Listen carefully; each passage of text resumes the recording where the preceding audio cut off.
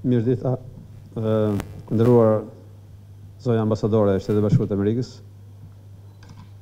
të nderuar pjesëmarrës të pakt, është vërtet e pazakontë organizimi i një ceremonie kaq të rëndësishme me kaq pak njerëz dhe me kaq pak vëmendje. Por jemi të detyruar për arsye që tashmë dihen dhe nuk po i përsëris, që ta ta bëjmë ceremoninë e nënshkrimit të këtij dokumenti të rëndësishëm në kushte krejt të pazakonta sa i përket pjesëmarrjes, po jo rëndësisë. Rëndësia mbetet e paprekur, rëndësia e nënshkrimit të këtij dokumenti midis Qeverisë së Shteteve të Bashkuara dhe Shqipërisë është e madhe, për arsye se adreson një çështje shumë të madhe që ka të bëjë me sigurinë kombëtare të Republikës së Shqipërisë, po ashtu dhe me sigurinë kombëtare të Amerikës dhe me sigurinë kombëtare të gjithë Aleancës ku ne së bashku kontribuojmë.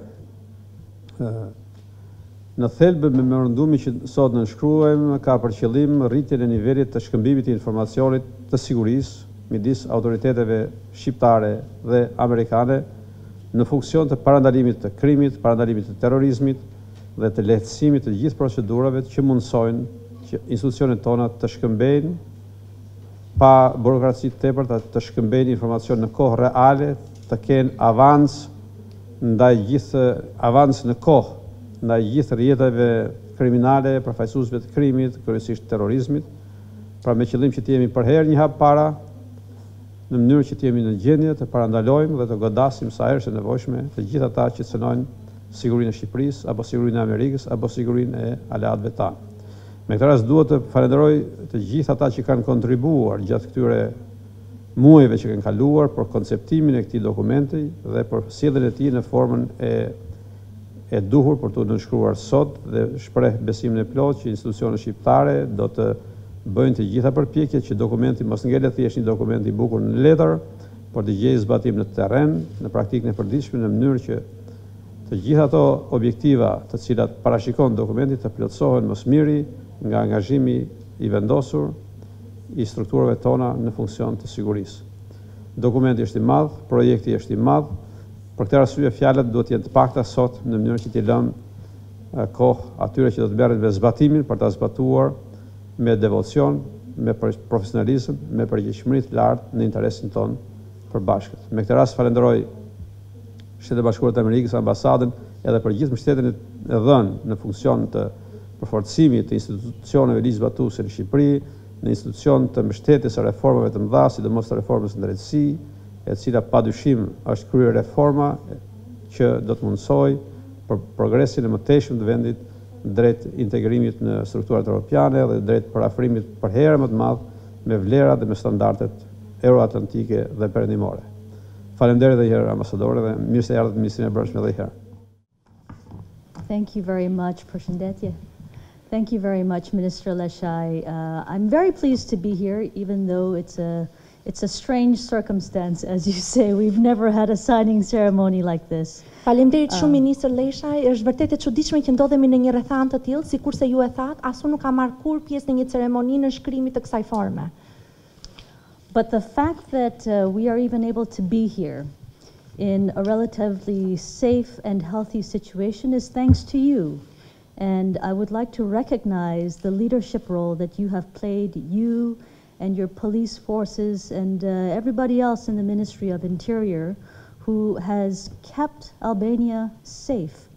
kept the Albanian people safe.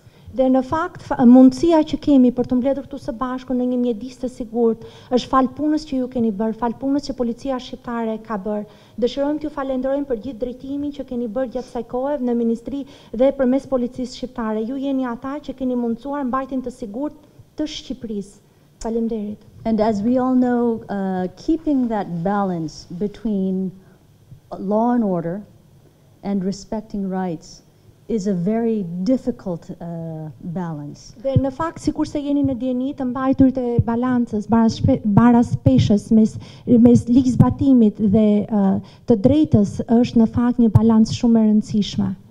And we appreciate that Albania has done this the correct way and we believe that the European Union's decision to begin Negotiations for your membership is proof of that. Dhe gjithashtu ne vlerësojmë që Shqipëria ka e ka bërë këtë në mënyrën e duhur dhe gjithashtu vlerësojmë faktin dhe është një provë e vërtetë ajo që vendimi që është marrë nga Bashkimi Europian për hapjen për negociatat, kështu që është një provë edhe një herë e kësaj gjëje. And so today here we are once again this is a situation when where we are working as partners to balance security and the rights of our citizens. Dhe në fakt ja ku ndodhemi sot, kjo është një mundësi ku ne bashkëpunojmë së bashku për të balancuar sigurinë dhe të drejtat e qytetarëve tanë. We're very pleased to be here to celebrate the implementation of the passenger name record law in Albania.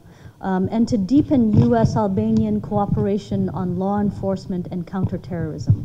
Jemi gjithashtu shumë të kënaqur që kemi mundësi të shënojmë zbatimin e ligjit për regjistrimin e emrave të pasagjerëve në Shqipëri, si dhe për thellimin e bashkëpunimit për ligjzbatimin dhe kundër terrorizmit. Terrorism is a threat to everybody. It doesn't discriminate. It doesn't care about borders, it tries not to care about borders, but unlike Corona in this case we can do something about it. Terrorizmi është një kërcënim për të gjithë. Në fakt ai nuk diskriminon, nuk është se në fakt interesohet për kufijtë, por ndryshe nga Corona, në këtë rast ne mund të bëjmë diçka për të.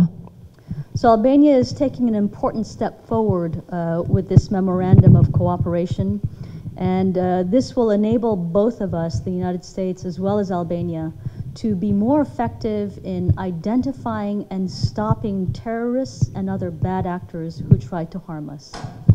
Dhe në fakt përmes këtij memorandumi bashkëpunimi, mirëkuptimi, ne do të kemi mundësi që të bashkëpunojmë për të ecur përpara, për të përdorur të dhënat, për të identifikuar udhëtarët dhe për të ndaluar kriminelë të tjerë keqdashës të rrezikshëm. And it marks another step forward in Albania's path toward becoming a net contributor to security in Europe, and in the world. Gjithashtu, sikurse dëshmohet për kësaj, përmes këtij memorandumi edhe njëherë nënkupton që Shqipëria mund të bëhet një kontribues neto i sigurisë për rajonin por edhe për botën. We commend the Government of Albania on its continued commitment to border security improvements, as proven by its increased cooperation with the US Embassy in all of these matters. Gjithashtu e përgëzojmë Qeverinë e Shqipërisë për përkushtimin e saj të vazhdueshëm në përmirësimin e sigurisë kufitare, siç dëshmohet nga bashkëpunimi i rritur me Ambasadën e Shteteve të Bashkuara për një një sërë çështjesh të sigurisë rajonale të lidhura me kufijtë. And we're looking forward to fully implementing this agreement. Dhe presim me kënaqësi që ta zbatojmë plotësisht këtë marrëveshje. I've been in Albania now for just a few months but I have to tell you I already begin to feel Albanian in my heart. Kam në Shqipëri vetëm pak muaj, por më duhet të them që Shqipëria më ka hyrë shumë për zemër. So I'm proud to see the way this country has united. I'm proud to see the role that the Ministry of Interior has played and I'm proud to see us continuing to work closely together as friends and partners. Jam gjithashtu e kënaqur të shikoj mundësinë se si ju se si e kemi zhvilluar këtë partneritet, se si kombi është bashkuar dhe se si ne mund ta vazhdojmë këtë partneritet dhe në të ardhmen. and I'm looking forward to us continuing to work more and more closely so that we keep each other safe and we keep our friends and allies around the world safe. Pres me kënaqësi që të punojmë akoma më ngushtësisht me njëri-tjetrin në mënyrë që ta mbajmë vendin më të sigurt dhe t'i mbajmë edhe aleatët më të sigurt. Thank you.